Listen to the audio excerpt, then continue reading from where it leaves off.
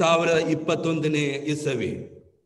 It is an year of mercy restoration and rest ಈ ವರ್ಷವು ಅದು ವಿಸ್ತಾಂತ್ರಿಯ ಪುನಃಸ್ಥಾಪನೆಯ ಒಂದು ವರ್ಷವಾಗಿರುತ್ತದೆ. It's an year of mercy ಕರುಣೆಯ ಒಂದು ವರ್ಷವಾಗಿರುತ್ತದೆ. It's an year of restoration ಪುನಃಸ್ಥಾಪನೆಯ ಒಂದು ವರ್ಷವಾಗಿರುತ್ತದೆ. And finally it is an year of rest ವಿಶ್ರಾಂತಿಯ ಒಂದು ವರ್ಷವಾಗಿರುತ್ತದೆ. Mercy restoration and rest are all interconnected ವಿಶ್ರಾಂತಿ ಪುನಃಸ್ಥಾಪನೆ ಕರುಣೆ ಅದು ಪರಸ್ಪರ ಸಂಬಂಧಪಟ್ಟಿದೆ. Last year twenty twenty one ಕಳೆದ ವರ್ಷದಲ್ಲಿ we were all having tough time. ನಮಗೆಲ್ಲರಿಗೂ ಬಹಳ ಕಷ್ಟಕರವಾದಂತ ಸಮಯವಿತ್ತು But by the grace of God, we are alive in 2021. ದೇವರ ಕೃಪೆಯೊಂದು ಮಾತ್ರ ನಾವು ಈ ವರ್ಷದಲ್ಲಿ ಬದುಕುತ್ತಾ ಸೇರಿದ್ದೇವೆ World over, many people lost their lives. ಲೋಕದಲ್ಲಿ ಅನೇಕ ಜನರು ತಮ್ಮ ಜೀವಿತವನ್ನ ಜೀವವನ್ನ ಕಳೆದುಕೊಂಡಿದೆ But the Lord has given us grace to see it the next year, 2021. ಆದರೆ ಈ ಹೊಸ ವರ್ಷವನ್ನ ನೋಡುವಂತ ಒಂದು ಕೃಪೆಯನ್ನ ದೇವರು ನಮಗೆ ಕೊಟ್ಟಿದ್ದಾನೆ I want to tell you this year we have to focus on God's mercy. ನಾನು ನಿಮಗೆ ಹೇಳುತ್ತೇನೆ ಈ ವರ್ಷದಲ್ಲಿ ದೇವರ ಕರುಣೆಗಾಗಿ ನಮ್ಮ ಲಕ್ಷ್ಯವನ್ನು ಇಡಬೇಕು We have to start with God's mercy. ನಾವು ಈ ವರ್ಷವನ್ನ ದೇವರ ಕರುಣೆಯಿಂದ ನಾವು ಪ್ರಾರಂಭ ಮಾಡಬೇಕು In the book of Jude, chapter 1, verses 21, ಯೂತನ ಬರೆದ ಪತ್ರಿಕೆ ಮೊದಲನೇ ಅಧ್ಯಾಯ ಇಪ್ಪತ್ತೊಂದನೇ ವಾಕ್ಯವನ್ನು ನಾವು ಓದ್- ನೋಡುವ it reads like this Keep yourself in the love of God, looking for the mercy of our Lord Yeshua, the Messiah, to eternal life. ನಿತ್ಯ ಜೀವಕ್ಕಾಗಿ ನಮ್ಮ ಕರ್ತನಾದ ಯೇಸು ಕ್ರಿಸ್ತನ ಕರುಣೆಯನ್ನು ಎದುರು ನೋಡುತ್ತಾ ನಿಮ್ಮನ್ನು ದೇವರ ಪ್ರೀತಿಯಲ್ಲಿ ಕಾಪಾಡಿಕೊಳ್ಳಿರಿ ಎಂಬುದಾಗಿ ನಾವು ನೋಡುತ್ತೇವೆ Today, I want to tell you this year, start looking at the mercy of Yeshua. ನಾನು ನಿಮಗೆ ಹೇಳುತ್ತೇನೆ ಈ ಹೊಸ ವರ್ಷದಲ್ಲಿ ನಾವು ದೇವರ ಕರುಣೆಯನ್ನ ಎದುರು ನೋಡುವರಾಗಿರಬೇಕು When you go out of your house, when you are coming inside your house, when you are going outside to work, I want you to focus on Yeshua's mercy. ನೀವು ಮನೆಯಿಂದ ಹೊರಗೆ ಬರುವಾಗ ಮನೆಯೊಳಗೆ ಹೋಗುವಾಗ ಹೊರ ಹೊರಗೆ ಹೋಗುವಾಗ ನೀವು ಯೇಸುವನ ಕರುಣೆಯಲ್ಲಿ ಲಕ್ಷ್ಯ ಇಡುವರಾಗಿರಬೇಕು Even if you put a seat belt, unless God protect you, there is no protection. ನೀವು ಸೀಟ್ ಬೆಲ್ಟ್ ಹಾಕಿದರೂ ಕೂಡ ದೇವರು ನಿಮ್ಮನ್ನ ಕಾಪಾಡದೆ ಬೇರೆ ಯಾವ ಸಂರಕ್ಷಣೆ ನಿಮಗೆ ಸಿಕ್ಕುವುದಿಲ್ಲ Even if you put a helmet, if the Lord is not with you, you cannot be saved. ನೀವು ಹೆಲ್ಮೆಟ್ ಹಾಕಿದ್ರು ಕೂಡ ದೇವರು ನಿಮ್ಮ ಜೊತೆಯಲ್ಲಿ ಇಲ್ಲದಿದ್ದರೆ ನಿಮಗೆ ಸಂರಕ್ಷಣೆ ಸಿಗೋದಿಲ್ಲ You need a seat belt, you need a helmet.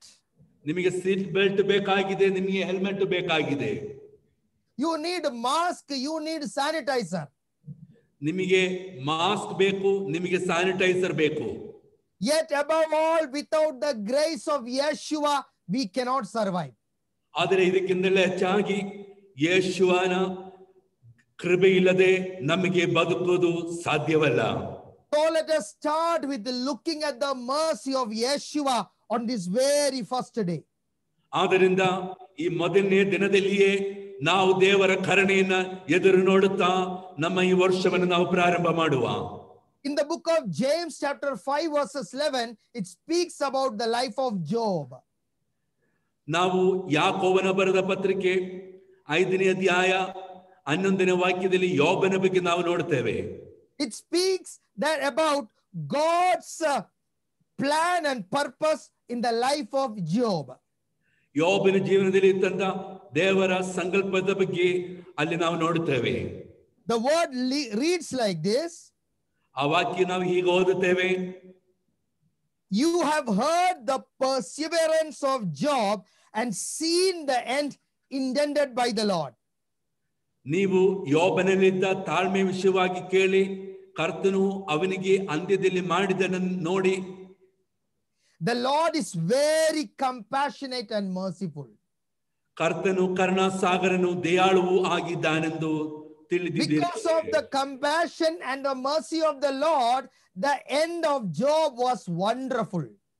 ದೇವರು ಕರುಣಾಸಾಗರನು ದಯಾಳು ಆಗಿರುವುದರಿಂದ ಯೋಬನ ಜೀವನದಲ್ಲಿ ಅವನ ಕೊನೆಯ ಗಳಿಗೆಯಲ್ಲಿಯೂ ಅವನು ಆ ಅತ್ಯುತ್ತಮನಾದ ಒಬ್ಬ ಮನುಷ್ಯನಾಗಿದ್ದನು Even though Job was infected from head to toe,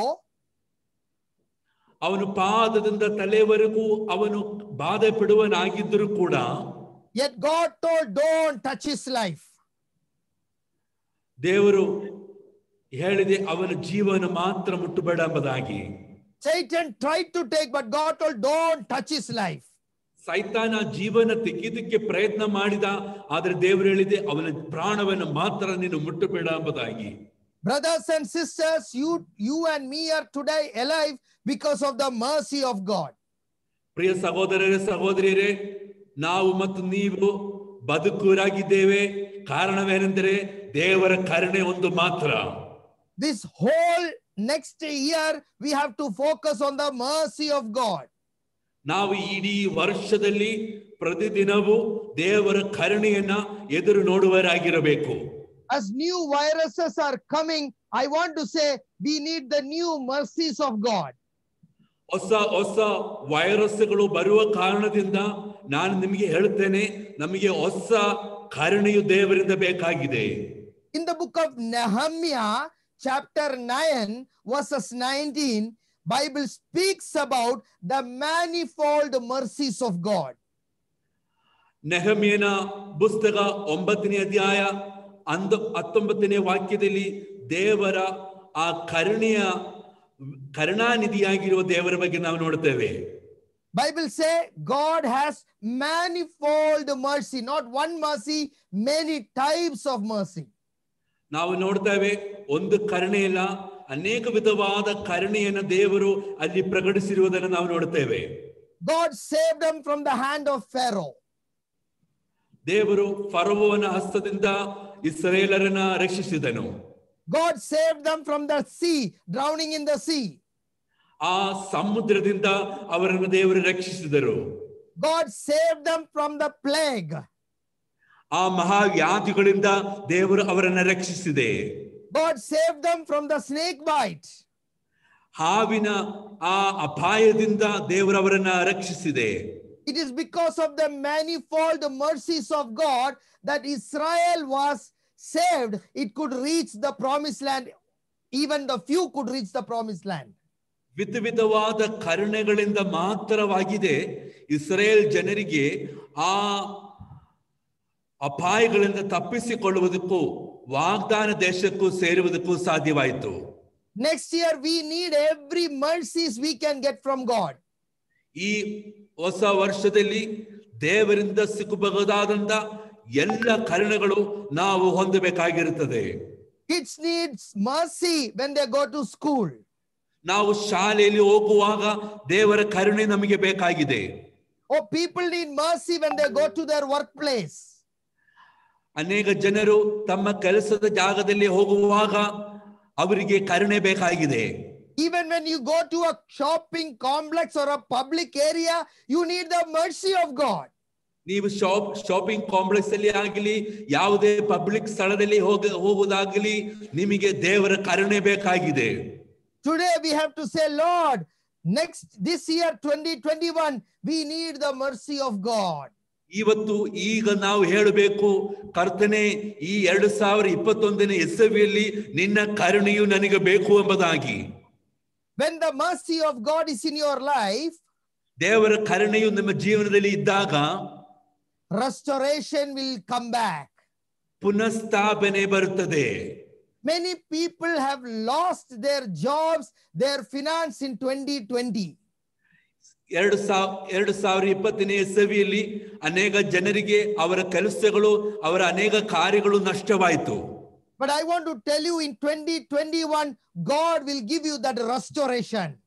ಆದರೆ ನಾನು ನಿಮಗೆ ಹೇಳುವುದೇನೆಂದರೆ ಎರಡು ಸಾವಿರ ಇಪ್ಪತ್ತೊಂದನೇ ಎಸ್ಸವಿಯಲ್ಲಿ ನಿಮಗೆ ನಷ್ಟವಾಗಿದ್ದೆಲ್ಲವನ್ನ ದೇವರು ಪುನಃಸ್ಥಾಪನೆ ಮಾಡುವನಾಗಿರುತ್ತಾನೆ. It is by the mercy of God you will be restored ದೇವರ ಕರುಣೆ ಒಂದು ಮಾತ್ರವಾಗಿರುತ್ತದೆ ನಿಮ್ಮ ಜೀವನದಲ್ಲಿ ಪುನಃಸ್ಥಾಪನೆಯಾಗುವಂಥದ್ದು. In the book of Zechariah, chapter 9, verses 12, ಜಕ್ರಿಯ ಪುಸ್ತಕ ಒಂಬತ್ತನೇ ಅಧ್ಯಾಯ ಹನ್ನೆರಡನೇ ವಾಕ್ಯದಲ್ಲಿ ನಾವು ನೋಡುವ. ಬೈಬಲ್ ರೀಡ್ಸ್ ಲೈಕ್ this ಸತ್ಯವೇದದಲ್ಲಿ ನಾವು ಹೀಗೆ ಓದುತ್ತೇವೆ Return to the stronghold, you prisoners of hope.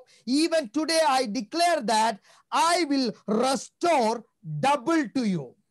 ನಿರೀಕ್ಷೆ ಸುನಿರೀಕ್ಷೆ ಉಂಟಾದ ಜಕರಿಯ ಒಂಬತ್ತನೇ ಅಧ್ಯಾಯ ಹನ್ನೆರಡನೇ ವಾಕ್ಯ ಸುನಿರೀಕ್ಷೆ ಉಂಟಾದ ಸೆರೆಯವರೇ ನಿಮ್ಮ ಮಾರ್ಗಕ್ಕೆ ಹಿಂದಿರುಗಿರಿ ನಿಮಗೆ ಎರಡರಷ್ಟು ಸುಖವನ್ನು ದೇಪಾಲಿಸುವನೆ ಎಂದು ಈಗಲೂ ಪ್ರಕಟಿಸುತ್ತೇನೆ I will restore double to you. ನಾನ್ ನಿಮಗೆ ಎರಡರಷ್ಟು ಪುನಃಸ್ಥಾಪನೆ ಮಾಡುವನಾಗಿರುತ್ತಾನೆ Yes, this year God want to restore whatever you have lost. ನಿಮಗೆ ಈ ವರ್ಷದಲ್ಲಿ ನಿಮಗೆ ಕಳೆದ ವರ್ಷದಲ್ಲಿ ನಷ್ಟವಾಗಿರುವಂತದೆಲ್ಲವನ್ನು ಈ ವರ್ಷದಲ್ಲಿ ಪುನಃಸ್ಥಾಪನೆ ಮಾಡಲು ದೇವರು ಬಯಸುತ್ತೇನೆ Believe in the mercy of God that God is going to restore all things that you have lost in 2021. ದೇವರ ಕರುಣೆಯಲ್ಲಿ ಭರವಸೆ ಇಟ್ಟುಕೊಂಡು ನೀವು ನಂಬೂರಾಗಿರಿ. ನಿಮಗೆ ನಷ್ಟವಾದದ ಎಲ್ಲವನ್ನ ದೇವರು ಈ ವರ್ಷ ಪುನಃಸ್ಥಾಪನೆ ಮಾಡ್ತಾನೆ ಎಂಬುದಾಗಿ. In the book of Joel chapter two twenty five ಜಾಯಲ್ನ ಪುಸ್ತಕ ಎರಡನೇ ಅಧ್ಯಾಯ ಇಪ್ಪತ್ತೈದನೇ ವಾಕ್ಯವನ್ನು ನಾವು ಓದುವ. it reads like this So I will restore to you the years that the swarming locust has eaten, the crawling locust, the consuming locust, and the chewing locust, my great army which I sent among you. Alleluia ನಾವು ಎರಡನೇ ಯೋಬೇಲ ಎರಡನೇ ಅಧ್ಯಾಯ ಇಪ್ಪತ್ತೈದನೇ ವಾಕ್ಯದಲ್ಲಿ ನಾವು ಹೀಗೆ ಓದುತ್ತಾ ಇದೆ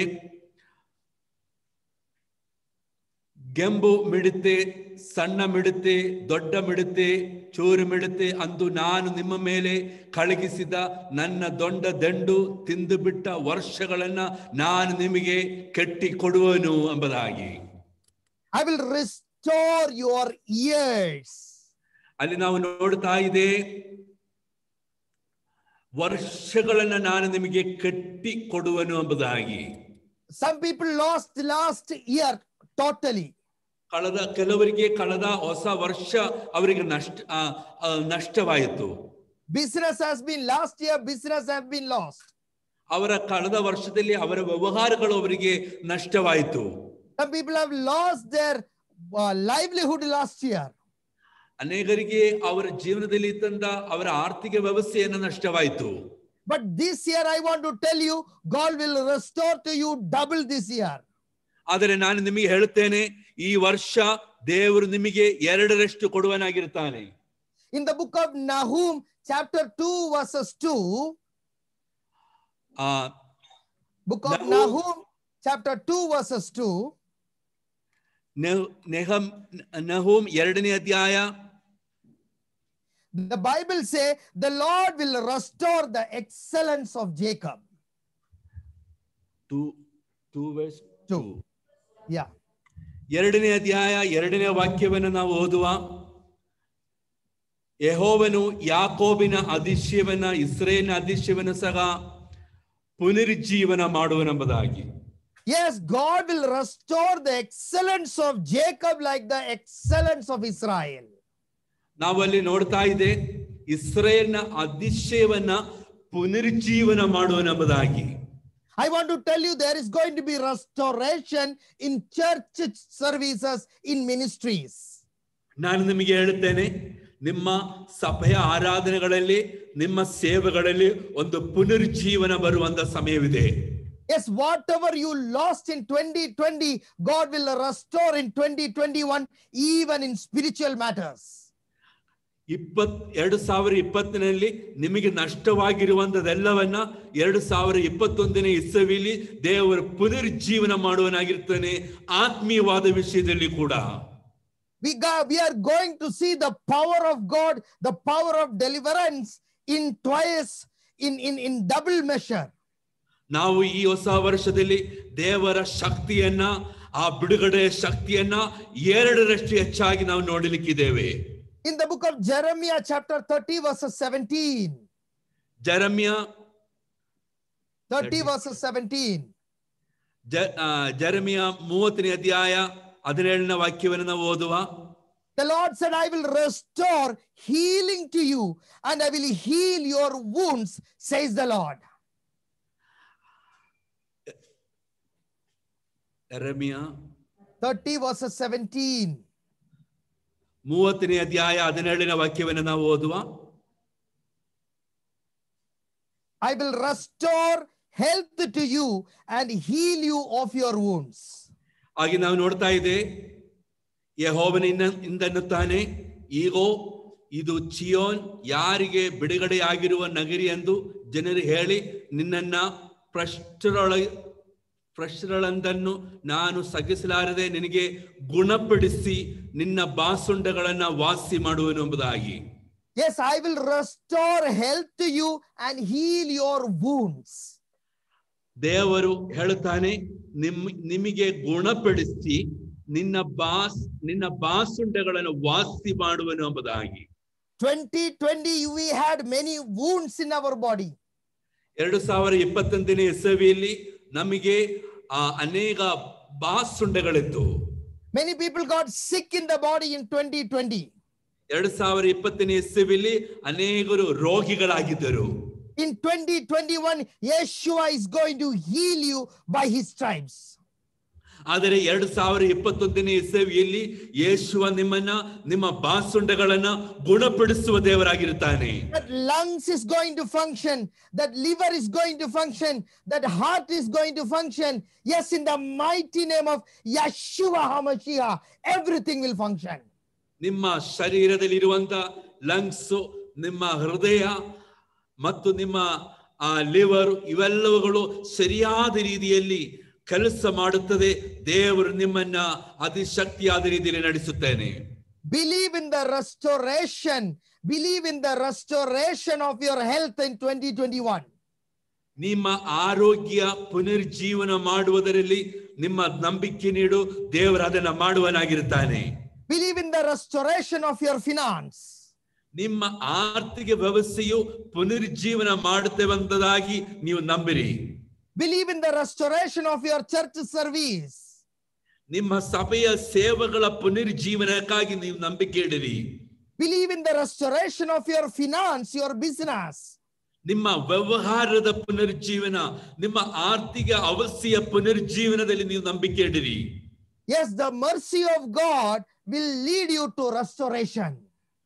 ದೇವರ ಕರುಣೆಯು ನಿಮ್ಮನ್ನ ಒಂದು ಪುನರ್ಜೀವನದ ಅವಸ್ಥೆಗೆ ನಡೆಸುವಂತವನಾಗಿರುತ್ತದೆ And what happened when restoration comes? ನಿಮ್ಮ ಜೀವನದಲ್ಲಿ ಪುನರ್ಜೀವನ ಬರುವಾಗ ನಿಮಗೆ ಏನಾಗುತ್ತದೆ You will have rest. ನಿಮಗೆ ವಿಶ್ರಾಂತಿ ಸಿಕ್ಕುವುದು let's go and read book of Genesis, chapter 8, verses 4. ಆದಿಗಾಂಡ ಎಂಟನೇ ಅಧ್ಯಾಯ ನಾಲ್ಕನೇ ವಾಕ್ಯವನ್ನು ನಾವು ಓದುವ Then the ark rested in the seventh month, the seventeenth day of the month, on the mountains of Ararat. ಆದಿಗಾಂಡ ಏಳನೇ ಎಂಟನೇ ಅಧ್ಯಾಯ ನಾಲ್ಕನೇ ವಾಕ್ಯ ಏಳನೆಯ ತಿಂಗಳಿನ ಹದಿನ ಹದಿನೇಳನೆಯ ದಿನದಲ್ಲಿ ನಾವೆಯು ಅರಾರತ್ ಸೀಮೆಯ ಬೆಟ್ಟಗಳಲ್ಲಿ ನಿಂತಿತ್ತು What is this ark? ಈ ನಾವೆ ಏನಾಗಿದೆ?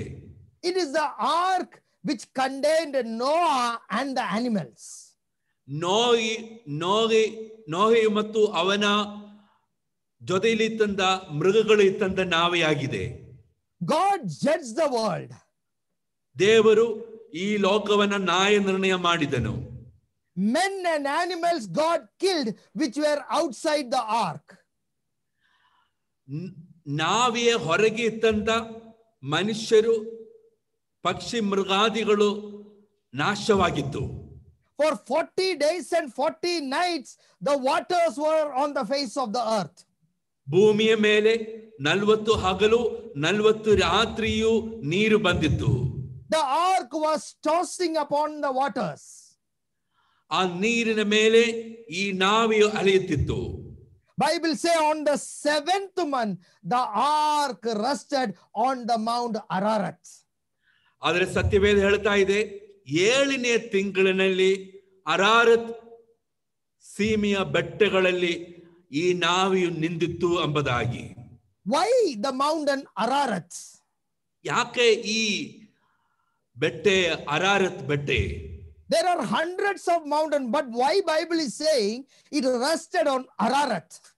ನೂರಾರಷ್ಟು ಬೆಟ್ಟಗಳಿತ್ತು ಯಾಕೆ Ararat ಬೆಟ್ಟೆಯ ಮೇಲೆ ಈ ನಾವಿಯು ನಿಂದಿತ್ತು See, every places in the Bible has a meaning.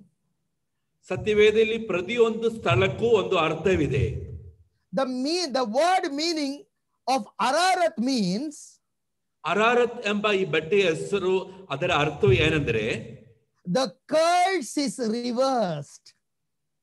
ಆ ಶಾಪವು ತಿರುಗಿ ಬಂದಿತ್ತು ಎಂಬುದಾಗಿ The curse is gone. The curse is taken out. ಶಾಪವು ನೀಗಿ ಹೋಯಿತು ಶಾಪವು ತೆಗಿ ಆ, ತೆಗಿಸಲ್ಪಟ್ಟಿತ್ತು ಎಂಬುದಾಗಿ That means the curse was on the earth, but when God put Noah back, God told, now the curse is over. ಅದರ ಅರ್ಥವು ಶಾಪವು ಈ ಭೂಮಿಯ ಮೇಲಿತ್ತು ಆದರೆ ನೋಹನು ತ ನಾವೇ ಮುಖಾಂತರವಾಗಿ ದೇವರು ನೋಹನ ರಚಿಸಿದಾಗ ಆ ಶಾಪವು ನೀಗಿ ಹೋಯಿತು.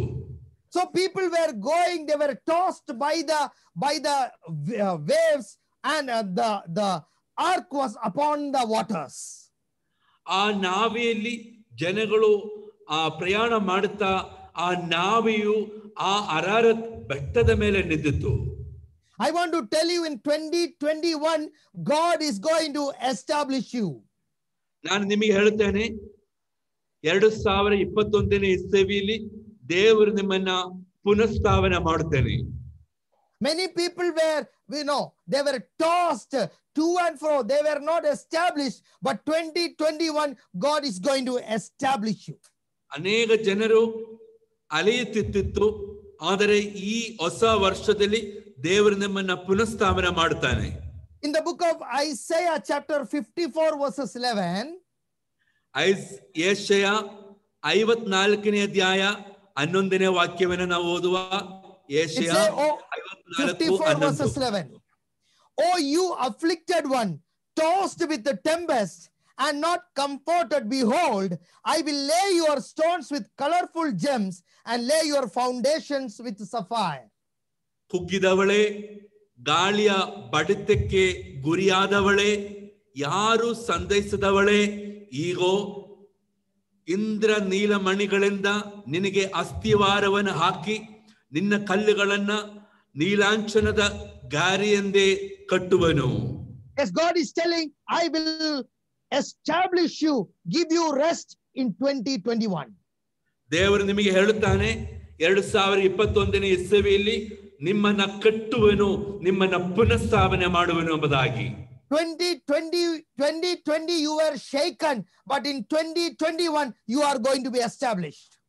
ಎರಡು ಸಾವಿರ ಇಪ್ಪತ್ತೊಂದನೇ ಇಪ್ಪತ್ ಇಪ್ಪತ್ತನೇ ಎಸವಿಲಿ ನೀವು ಅಲೆದಾಡುವಂತ ಜನರಾಗಿದ್ದರು ಆದರೆ ಇಪ್ಪತ್ತೊಂದನೇ ಎಸವಿಲಿ ದೇವರು ನಿಮ್ಮನ್ನ ಕಟ್ಟುವನಾಗಿರುತ್ತಾನೆ you are going to see answers for prayers which you, have been praying for many years. ಅನೇಕ ವರ್ಷಗಳಿಂದ ನೀವು ಪ್ರಾರ್ಥನೆ ಮಾಡ್ತಾ ಇತ್ತಂದ ವಿಷಯಗಳಿಗೆ ಈ ವರ್ಷ ನೀವು ಉತ್ತರವನ್ನ ನೋಡುವರಾಗಿರ್ತೇವೆ 2021 will be the year of surprises for many. ಎರಡು ಸಾವಿರ ಇಪ್ಪತ್ತೊಂದನೇ ಇಸವಿಯು ಅನೇಕ ಜನರಿಗೆ ಆಶ್ಚರ್ಯಕರವಾಗಿರುವಂತಹ ಇಸವಿಯಾಗಿರುತ್ತದೆ Those things you found which was impossible, which will never work, you will see 2021 that impossible will become possible. ಅನೇಕ ಕಾರ್ಯಗಳು ಅಸಾಧ್ಯವೆಂಬುದಾಗಿ ನೀವು ಎದುರು ನೋಡಿದಂತ ಕಾರ್ಯಗಳು ಈ ಇಪ್ಪತ್ತೊಂದನೇ ಎಸವಿಯಲ್ಲಿ ಸಾಧ್ಯವಾಗಿ ಮಾಡುವಂತದನ್ನ ನೀವು ನೋಡ್ತೀರಾ The childless are going to receive child in the mighty name of Yeshua. ಮಕ್ಕಳಿಲ್ಲದಂತ ಅನೇಕರಿಗೆ ದೇವರು ಮಕ್ಕಳನ್ನ ದಾನವಾಗಿ ಕೊಡುವಂತ ವರ್ಷವಾಗಿರುತ್ತದೆ. Yes miracle will happen this year twenty twenty one ಈ ವರ್ಷ ಇಪ್ಪತ್ತೊಂದನೇ ಎಸವಿಯಲ್ಲಿ ಅದ್ಭುತಗಳು ನಡೆಯಲಿಕ್ಕಿದೆ. Yes that miracle will happen and you will go into mental peace and mental rest. ಆ ಅದ್ಭುತಗಳು ನಡೆಯುವ ಕಾರಣದಿಂದ ನಿಮಗೆ ಮಾನಸಿಕವಾದಂತ ವಿಶ್ರಾಂತಿ ಮಾನಸಿಕವಾದಂತ ನೆಮ್ಮದಿ ಸಿಗುತ್ತದೆ Psalms 116, ವರ್ಡ್ಸ್ 7. ಕೀರ್ತನೆಗಳು ನೂರ ಹದಿನಾರು ಏಳನೇ ವಾಕ್ಯವನ್ನು ನಾವು ಓದುವ. Return to your rest my soul for the Lord has dealt bountifully with you ಕೀರ್ತನೆ ನೂರ ಹದಿನಾರು ಏಳನೇ ವಾಕ್ಯ ನನ್ನ ಮನವೇ ನಿನ್ನ ವಿಶ್ರಾಂತಿಗೆ ನೆಲೆಗೆ ತಿರುಗು ಯಹೋವನು ನಿನಗೆ ಮಹಾ ಉಪಕಾರಗಳನ್ನ ಮಾಡಿದ್ದಾನಲ್ಲ. Yes, you are going to receive rest in 2021. ಇಪ್ಪತ್ ಎರಡು ಸಾವಿರ ಇಪ್ಪತ್ತೊಂದನೇ ಇಸವಿಯಲ್ಲಿ ನಿಮಗೆ ವಿಶ್ರಾಂತಿ ಸಿಕ್ಕುವಂತ ವರ್ಷವಾಗಿರುತ್ತದೆ. This is what God spoke to Moses ಇದೇ ದೇವರು ಮೋಶೆಗೆ ಹೇಳಿದಂತ ಮಾತು. My presence will go with you, I will give you rest. ನನ್ನ nanna ನನ್ನ ಪ್ರಸನ್ನತೆಯು ನಿನ್ನೊಂದಿಗೆ ಇರುತ್ತದೆ ನಾನು ನಿನಗೆ ವಿಶ್ರಾಂತಿ ಕೊಡುವೆನೆಂಬುದಾಗಿ This is what Yeshua told to the New Testament church. ಇದೇ yeshua ಹೊಸ ಒಡಂಬಡಿಕೆ ಸಭೆಗೆ ಹೇಳುವಂತ ಮಾತು Matthew 11 28. ಮತ್ತಾಯ ಹನ್ನೊಂದು ಇಪ್ಪತ್ತೆಂಟು Come to me, all you are labor and heavy laden, and I will give you rest. ಮತ್ತಾಯ ಹನ್ನೊಂದು ಇಪ್ಪತ್ತೆಂಟು ಎಲೆ ಕಷ್ಟಪಡುವವರೇ ಹೊರಹೊತ್ತುವವರೇ ನೀವೆಲ್ಲರೂ ನನ್ನ ಬಳಿಗೆ ಬನ್ನಿರಿ ನಾನು ನಿಮಗೆ ವಿಶ್ರಾಂತಿ ಕೊಡುವೆನು In the Old Testament, God told to Moses, I will give you rest. The New Testament, Yeshua is telling, I will give you rest. ಹಳೆ ಒಡಂಬಡಿಕೆಯಲ್ಲಿ ದೇವರು ಮೋಶೆಗೆ ಹೇಳಿದೆ ನಾನು ನಿನಗೆ ವಿಶ್ರಾಂತಿ ಕೊಡುವೆನೆಂಬುದಾಗಿ. ಹೊಸ ಒಡಂಬಡಿಕೆಯಲ್ಲಿ ಯೇಸು ನಿಮಗೆ ಹೇಳ್ತಾ ಇದೆ ನಾನು ನಿಮಗೆ ವಿಶ್ರಾಂತಿ ಕೊಡುವೆನೆಂಬುದಾಗಿ. Let me conclude my message ನಾನು ನನ್ನ ಸಂದೇಶವನ್ನು ಮುಗಿಸುತ್ತೇನೆ. ಇನ್ ಟ್ವೆಂಟಿ ಟ್ವೆಂಟಿ ಒನ್ ಎರಡು ಸಾವಿರ ಇಪ್ಪತ್ತೊಂದನೇ ಸಭೆಯಲ್ಲಿ you must focus on the mercy of God ನಿಮ್ಮ ಗುರಿ ದೇವರ ಕರುಣೆ ಮೇಲೆ ಇಡಬೇಕು. And, and you will see restoration of all the lost things in your life. ನಿಮಗೆ ನಿಮ್ಮ ಜೀವನದಲ್ಲಿ ನಷ್ಟವಾಗಿರುವಂತ ಎಲ್ಲ ವಿಷಯಗಳ ಮೇಲೆ ಪುನರ್ಜೀವವನ್ನು ನೋಡುವರಾಗಿರ್ತೇವೆ ನೀವು And third thing, that you are going to see rest and establishment in your life. ಮೂರನೇದಾಗಿ ನಿಮ್ಮ ಜೀವನದಲ್ಲಿ ಪುನಃಸ್ಥಾಪನೆಯನ್ನ ನೋಡುವರಾಗಿ ನೀವು ವಿಶ್ರಾಂತಿಗೊಳ್ಳುವಂತ ಜನರಾಗಿರ್ತೇವೆ Today, let's pray together as a church.